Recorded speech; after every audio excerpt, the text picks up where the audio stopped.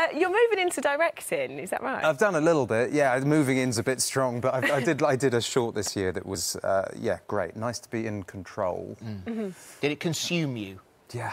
Like for the last four months, it's all I've thought about in a way that I haven't done with acting. Suddenly, it was like, oh, this is because you can. You're in control of everything. You don't have to worry about anything except what you're doing, which is great. This is a short film called The Toll Road. That's yeah? right. And when is it? When is it out? I mean, who knows? We're doing the festival rounds right now, so let's see how that goes. And so, how much how much time do you spend here, and, and, and as opposed to the Uh, States? we, I bounce back and forth, to be honest. Sort of, it's six months. Six months has been how it's worked out. We've sort of alternated. It's just we've gone where the work goes. Because my wife's American, so we've. Yeah. So this is Liz, Liz uh, Caplan. How, did, how was how was your first date with um, with her?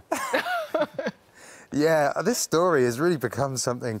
I, I'm rubbing We're the, just going to the, make the sauce. You We're just going to make right you now. tell it again. Yeah. Um, so it wasn't the first date, but we'd been dating a couple of months, and I and I pulled up outside her house in LA, um, and I wanted to have very clean breath because I'm a, Yeah. a- you know, a, It's a nice thing to do on a date, yeah. And um, I so I had some Listerine in the glove box, as you do, and I gargled and spat into the roadside, and in the shadows, unbeknownst to me, was a cactus.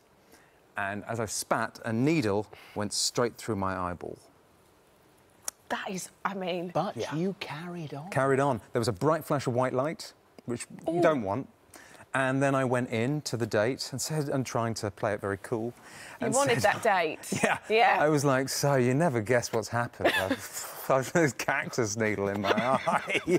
And she looked in my eye and said, that's awful, what I can see right now. And my pupil had begun to leak. No way. Yeah, which I didn't know was something that could happen. Turns out, turns out it is.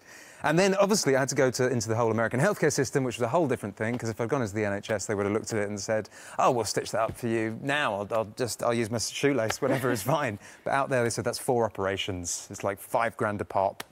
It's crazy. Yeah. Oh my goodness, that's an expensive first date. You were lucky, actually, because ever thinking about it, I mean, it's a damn good story, but you were actually lucky. Very lucky. I got it in. Actually, got it in the tiny area of the eye I needed to not go blind. my Two point five millimeters or something. Was your breath fresh? Oh, beautiful. that was the best thing about it. That's what's And bothering honestly, Yeah, me. that's the most important thing. There is nothing that solidifies the beginning of a new relationship more than having to put an eye patch on your new boyfriend's face every night before he falls asleep so he doesn't scratch it.